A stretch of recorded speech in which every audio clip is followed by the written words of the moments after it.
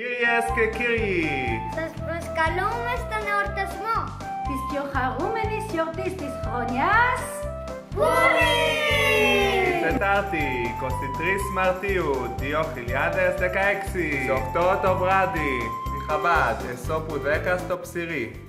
Ωχ, πού να πάω στο κέντρο τώρα; Ε, Μπορείς να πας με ελικόπτερο ή με το μετρό στο μοναστηράκι και τέλος πάντων υπάρχουν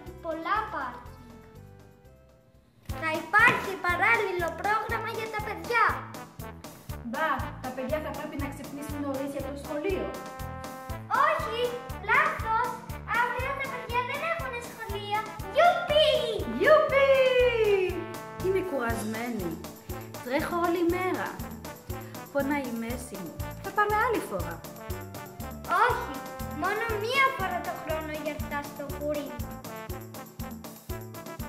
Θα διαβάζουμε την Μεγκυλά. Θα έχουμε και fashion show.